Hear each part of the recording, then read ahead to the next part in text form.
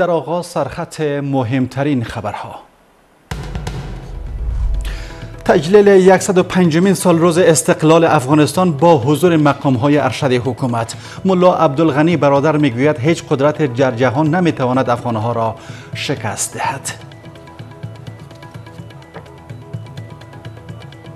په سیمه او نړۍ کې باید وګورو چې هیوادونه څه کړي دي. خپله دفاع له کومې سرچینې څخه تازیه کوي. و سیلاب سهمگین در ولسوالی مرکز بهسود ولایت میدان وردک جاری شدن سیلاب علاوه بر تخریب زمین های زراعتی دسترسی به آب آشامیدنی را نیز از بین برده.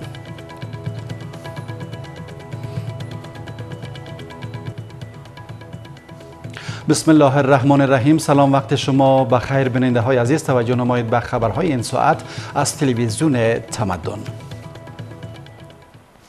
مشروع خبرها از 28 اسد 105 سال روز استقلال کشور طی مراسم با حضور مقام های ارشد حکومت در وزارت دفاع تجلیل شد. مقام های ارشد حکومت 28 اسد را روز پر افتخار در تاریخ کشور عنوان کرده و بر حفظ و پاسداری از آن تاکید کردند مقام های حکومت در این مراسم گفتند که برای دفاع از آزادی و تمامیت ارزی کشور از هیچ تلاش و فداکاری دریغ نخواهند کرد و در مقابل متجاوزین قاطعانه خواهند استاد زبیولا شریفی گزارش می‌دهد. 28 اسد سال روز استقلال کشور. و این مراسم گذاشتن اکلیل گل پای منار آزادی. 105 سال پیش در چنین روز افغانستان استقلال خود را از کشور وقتی بریتانیا به دست آورد. از این روز طی مراسم های ویژه در سراسر کشور از جمله اینجا در وزارت دفاع ملی با گذاشتن دستگل در پای منار آزادی گرامی داشت به عمل آمد اینجا هم در وزارت دفاع مراسم تجلیل از سالروز استقلال کشور با حضور مقام ارشد حکومت برگزار شد. ملا عبدالغنی برادر معاون نخست وزیر 28 اسد را روز پر افتخار و فراموش ناشدنی در تاریخ کشور توصیف کرد. په سیمه او نړۍ کې باید وګورو چې هیوادونه څه کړي دي. خپله دفاع له کومې سرچینې څخه تازیه کوي. او د دشمنانو د دقیق څار باوجود یې چیرې او څنګه ساتلی دي از سوی هم مقام ارشد حکومت از جمله عبدالسلام حنفی در این مراسم تاکید کرد که باید با مردم به گونه نرم و با دشمنان و متجاوزین به گونه قاطع برخورد صورت بگیرد. با ملت شرافتمند افغانستان باید همیشه ما و شما با اخلاق اسلامی با تواضع رفتار داشته باشیم. کسایی که با تکبر می‌خواهند خدا نخواسته به خاک افغانستان تجاوز بکنند. همراه از اونها با متانت با قوت با شجاعت عمل بکنین همراه از اونها. ملا محمد یعقوب وزیر دفاع بر تحکیم وحدت و برادری بین شهروندان و مقابله با تعصب و تبعیض تاکید کرد و همچنان گفت افغانستان در امور داخلی هیچ کشور مداخله نکرده و از تمامیت ارزی کشور قاطعانه دفاع خواهند کرد. کوشش مکوي چې یا پر سرحداتو کې د ډیورن پر پرځي کرښه یا په نورو ساحو کې موږ ته مشکلات ایجاد کړي یا زموږ په وړاندې خندونه ایجاد کړي. موږ که پر سرحداتو باندې حلقوي سړک تیرو موږ که پر سرحداتو باندې پوستې او بیزونه جوړو موږ که پر سرحداتو باندې قوتونه په ځای پر ځای کوو دا ستاسو د پاره خطر نه دی. بلکې دا موږ د خپل هیواد د ساتنې د پاره کوو د خپل حریم او د خپل عزت د ساتنې د پاره کوو. دا زموږ فریضه ده تر دې موږ هیڅ کله نسو تیرېدلی په هر قیمت وزیران داخله و خارجه نیز بر حفظ و پاسداری از آزادی و استقلال کشور تاکید کردند. امیرخان متقی گفت برای حفظ استقلال باید از اختلافات داخلی و تقابل با جامعه جهانی خودداری صورت بگیرد. سراج الدین حقانی نیز حفظ استقلال و داشتن روابط با جهان را مهم و ضروری دانست. ډیر کوشش وسی په وړو حرکاتو په بې ځای اظهاراتو د نړۍ له ټکر نه هم ځان وساتو. افغانستان چې اوس کوم سیاست په مخ کې نیولې ده چې هغه د اسلامي نظام حاکمیت ته هغه متوازن سیاست ته. په دې کې مسلسل د دوی سره غو مثبت تعامل او کوششونه روان دي. د دې په خاطر چې موږ د خپل ملت په انزوا کې ونه ساتو. یو مثبت تعامل یو مشروع تعامل لاره د دنیا سره میوالار موږ داس برابر کړو در اینجا همچنان گفته شد افغانستان علیرغم برخی مشکلات در حال حاضر به گونه کامل آزاد و مستقل است. به گفته رئیس ستاد مشترک ارتش حکومت افغانستان حالا از هیچ کسی دستور نمی‌گیرد و به کسی اجازه نمی دهد که استقلال کشور را زیر سوال ببرد. همزمان با 105 سال روز استقلال کشور نشست علمی فرهنگی با موضوع استعمار فرانو و استقلال کشورهای جهان سوم از سوی دانشگاه خاتم النبیین صلی الله علیه و آله و سلم در ولایت غزنی برگزار شد. مسئولان حکومتی مدرسان دانشگاه و دانشجویان در این نشست ابعاد مختلف استعمار و مداخلات قدرت‌های جهانی در امورات کشورهای جهان سوم و توسعه نیافته. از جمله افغانستان را به بحث و بررسی گرفتند. اشتراک کنندگان این نشست بر حفظ اتحاد و همدلی در کشور تأکید کردند. نشست علمی فرهنگی تحت عنوان استعمار فرانو و استقلال کشورهای جهان سوم اینجا در سالن اجتماعات دانشگاه خاتم النبیین صلی الله علیه و آله و سلم شعبه غزنی.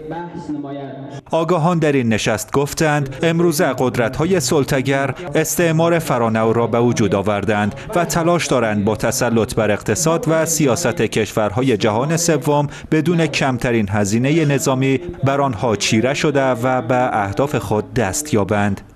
در روش استعمار نو روشی که کشورها به ظاهر کاملا مستقل معلوم میشه ظاهرا اگر نگاه بکنی همه چیز دارن قلمرو مشخص دارن مرزهایشان.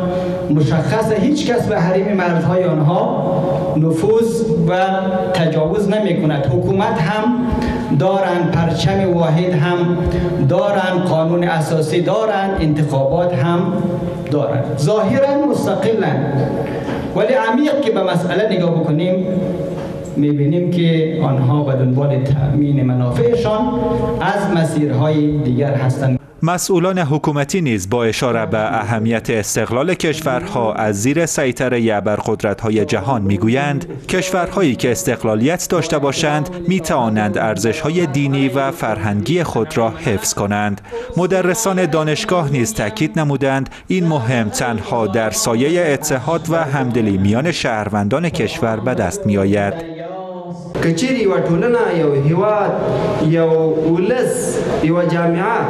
هغه استقلال ولري هغه د هغې به ټولې دینی فرهنګي مذهبي ګټې به هغه خوندي وي نو په ټوله کې استقلال هغه مهم عنصر یو ټولنه او په جامعه کې چې د ټولنې مذهبي دینی اساسات او هرنګ فرهنګي اساسات لکه څنګه چې استاد اشاره ورته وکړه هغه به ځان سره محفوظ وي. در او اثر اونا متفق شدن متحد شدن اتحاد خود را حفظ کردن و افغانستان را از دست استعمارگران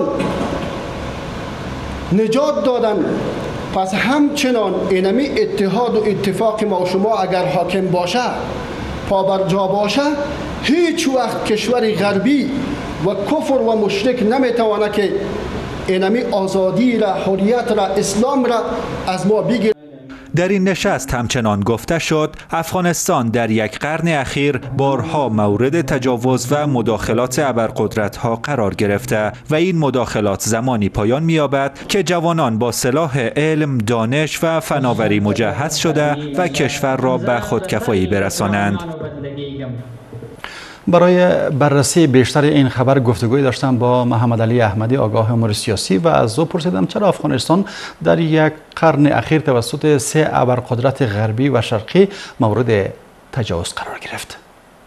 اما دلیلی که چرا افغانستان در یک مدت بسیار کوتاه توسط سه ابرقدرت بزرگ دنیا مورد حجمه قرار گرفته من فکر می‌کنم این بحث بحث بسیار طولانیه. ولی موقعیت ژئوپلیتیک بازی های سیاسی زدوبند های منطقه‌ای و حتی منابع امکانات موجود در افغانستان و حتی بازی نخبگان سیاسی ما هم در راستای ای که افغانستان بار بار مورد تجاوز قرار بگیره و مردم افغانستان برای رهایی وطن از اشغال بیگانگان مجبور به جانفشانی جهاد و مبارزه و مقاومت شود. اینها جزو چیزهایی بوده که طبیعتا درس های بسیار بزرگی را برای تاریخ به یادگار گذاشته و همچنین فرصت های بسیار طلایی را برای مردم افغانستان هم به وجود آورده. تاریخ هم نشان داده که مردم افغانستان همواره در مقابل بیگانگان استاده اند این روحیه بیگانه ستیزی از کجا نشأت می‌گیره؟ ببینید اصولا استقلال طلبی و دستیابی به خود ارادیت یک آرمان است. بچه که طفل است هم دوست داره سرپای خود استاد شود جوان هم زمان جوان است که سرپای خود استاد می شود مستقل از پدر و مادر. کشورها ملتها امتها در تاریخ ثابت شده. کشورهایی که دارای روحیه استقلال طلبی است می‌خواد به عزت و اقتدار برسه به خود ارادیت برسه. به هیچ عنوان حاضر نیست تحت سلطه بیگانگان زندگی بکنه. سرنوشت و مقدراتش مردم بیگانه تعیین بکنه. در که مردم افغانستان می‌خواین خواستن. و تاریخ ثابت کرده. بار بار تجربه شده. از آزمون های متعدد مردم افغانستان سربلند آمد برآمدن نشان داده که واقعا روحیه بیگانه ستیزی از یک طرف و روحیه استقلال طلبی از یک طرف دیگر و در اون شرایط اتفاق و انسجام و اتحاد درونی در بین همه اقوام همه جوامع.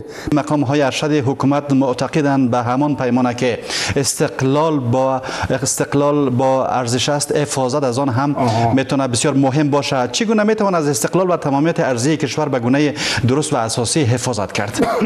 بسیار نکته خوب است که حداقل دوستای ما بعد از یک قرن متوجه شدن که ما همیشه در مبارزه خوب رزمیده ایم خوب درخشیده ایم ولی در زمان استفاده و حفاظت از استقلال او کاری که لازم بوده او وظیفه خانگی خود انجام ندادیم. ببینید استقلال یک اصل است.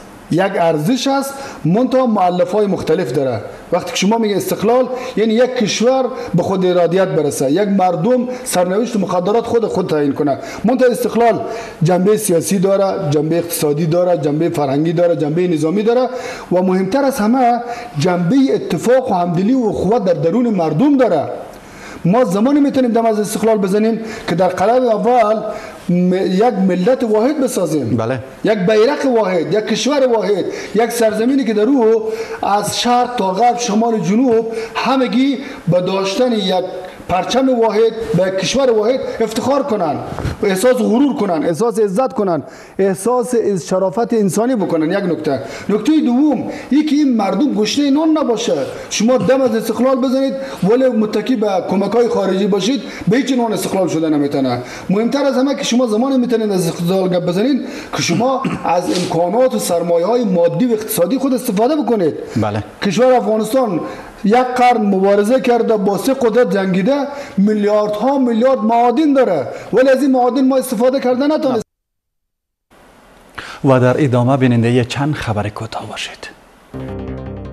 رسانه های پاکستانی با نشر گزارش اعلام کردهاند که نزدیک به یک ماه گذشته 32200 مهاجر افغان از این کشور اخراج شدند. بر اساس این گزارش برگشت کنندگان شامل 11054 کودک، 9320 زن و 11826 مرد می باشند. گفته شده این مهاجران با 674 موتر به افغانستان بازگردانده شدند. مقامات پاکستانی تاکید کردند که اخراج افغان های فاقد مدارک اقامتی در این کشور همچنان ادامه خواهد داشت. ریاست هواشناسی از احتمال بارندگی های شدید و جاری شدن سیلاب در 16 ولایت کشور خبر داد. این ریاست گفته که امروز یکشنبه در ولایات بدخشان، نورستان، پنجشیر، کنر، ننگرهار، لغمان، کابل، لوگر، میدان وردک، پکتیا، خوست، پکتیکا، غزنی، زابل و قندهار احتمال بارندگی وجود دارد. ریاست هواشناسی مقدار بارندگی در نقاط مختلف را از 15 تا 40 میلیمتر پیش بینی کرده است.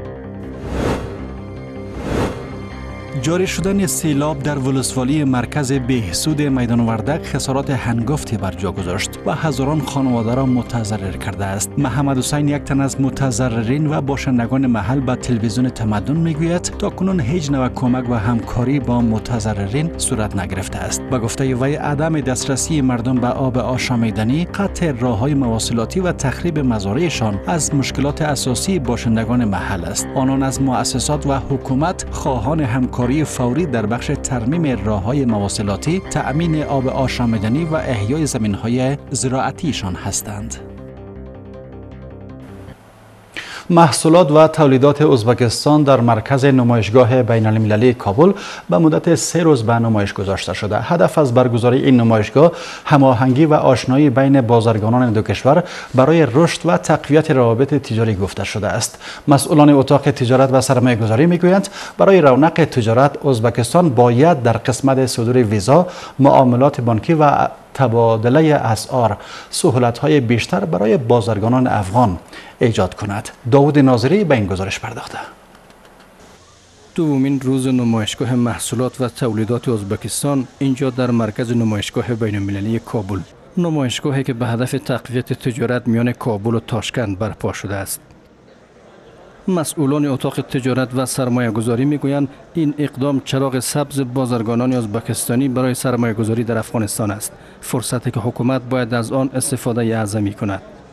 کشوری که در حال ترقی و رشد است و او به افغانستان یک حیات بلند پایش با چند تن از وزرای کابینش سفر می‌کنه. این باعث از این میشه که ما مطمئن میشیم که کشورهای همسایه مانند ازبکستان علاقمند هستند که با ما روابط تجاری داشته باشند با ما روابط اجتماعی داشته باشند با ما روابط حسنه همسایه‌داری داشته باشند.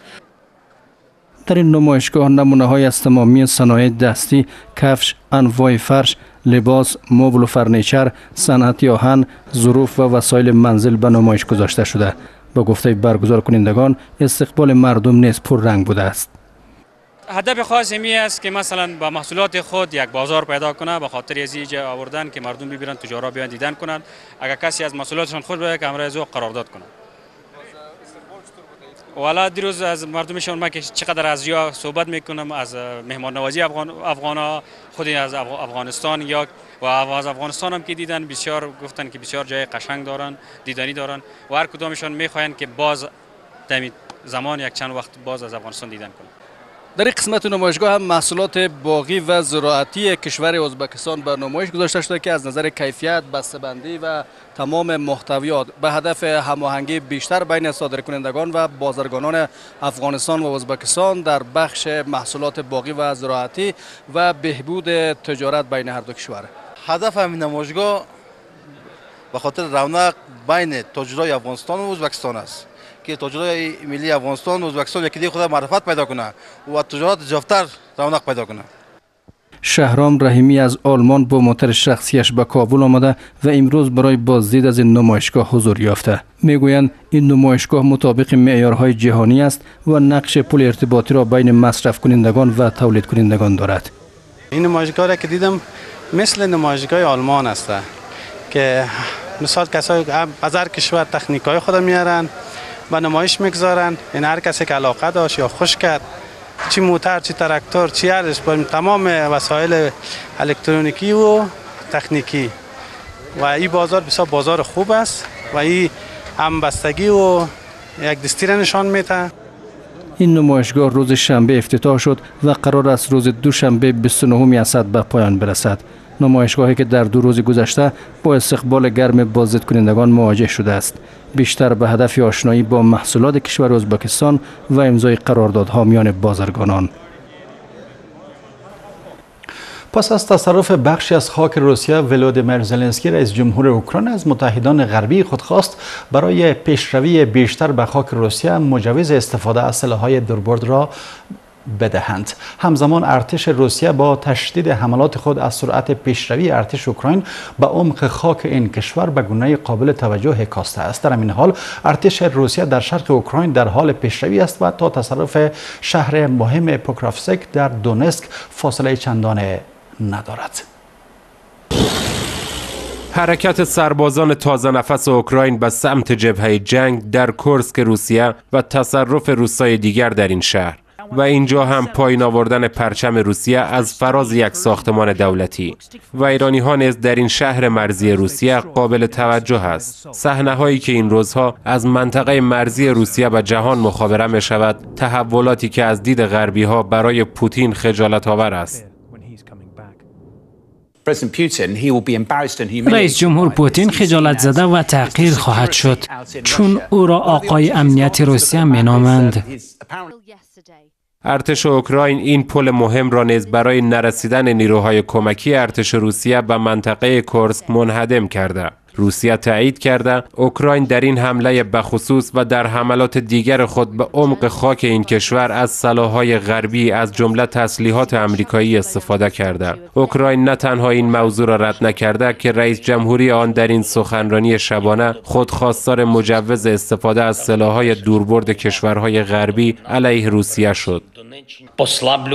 ما تمام تلاش خود را انجام می دهیم تا رزمندگان خود را با تسلیحات و نیروهای کمکی مورد نیاز تأمین کنیم در این راستا بدون شک مهم است که شرکای ما موانعی که مانع تضعیف مواضع روسیه در طول جنگ می شود را بردارند حمله به کورسک بازی خطرناک زلنسکی خوانده شده که موفقیت آن ناروشن است. رسانه های غربی گزارش دادند ولودیمیر زلنسکی از این حمله انتظار دارد که روسیه مجبور به تغییر استقرار نیروهایش و کاهش فشار در جبهه شرقی خط مقدم جنگ شود. با گذشت تقریبا دو هفته از حمله اوکراین به کورسک روسیه ولی تلاش کرده بین حفظ اراضی تصرف شده در این منطقه مرزی و از دست دادن قلمروی خود در دونسک مرکزی توازن ایجاد کند. بر اساس آخرین گزارش ها نیروهای روسیه از زمان حمله نظامی اوکراینی به خاکش برای تصرف مرکز منطقه پوکروفس در دونسک اوکراین حدود سه مایل پیشروی کرده. بر اساس گزارش ها نیروهای روسیه در آستانه کنترل این شهر حیاتی قرار دارند. مسئولان این شهر نیز در تلاشند مردم این شهر را تخلیه کنند. وضعیت تنها بد و بدتر می شود و امیدی برای بهتر شدن آن نیست نهادهای دولتی و زیرساختها در خطر قرار دارند نترسید چون می توانید شهر را به صورت منظم ترک کنید هر آنچه را می توانید بردارید و شهر را تخلیه کنید از دید بسیاری ها نبرد در این دو جبهه با هم در ارتباط هستند اما نتیجه نهایی آن نامعلوم است.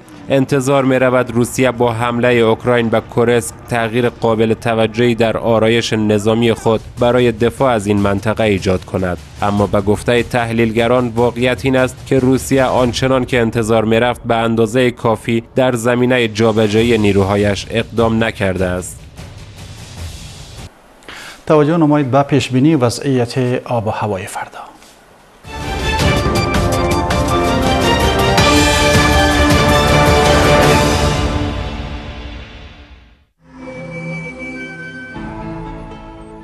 کابل آفتابی 31 16 بامیان آفتابی 23 8 جلال آباد آفتابی 36 25 غزنی آفتابی 30 16 قندهار آفتابی 40 23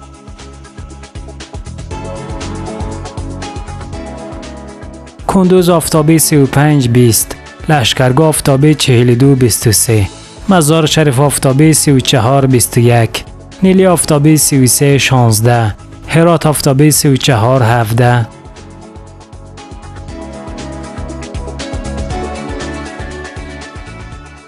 اسلام آباد نیمه آفتابی 32 24 تهران آفتابی 36 26 دبی نیمه آفتابی 40 33 دهلی ابری 33 27 و سرانجام مکه آفتابی 43 30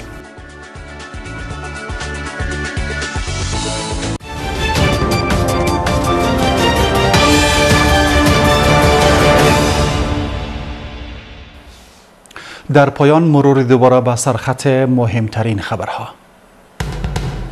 تجلیل 105 سال روز استقلال افغانستان با حضور مقام های ارشد حکومت. ملا عبدالغنی برادر می‌گوید هیچ قدرت در جهان نمی‌تواند افغانها را شکست دهد.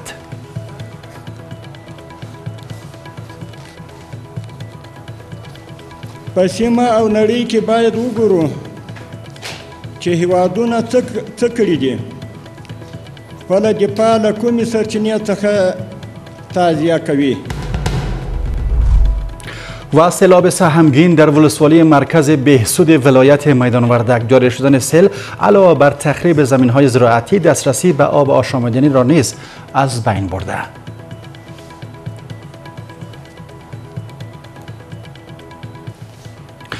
بیننده های عزیز این بسته خبری این ساعت بود که تقدیم حضور شما گردید. سپاسگزارم از همراهیتان. خدا نگهدار.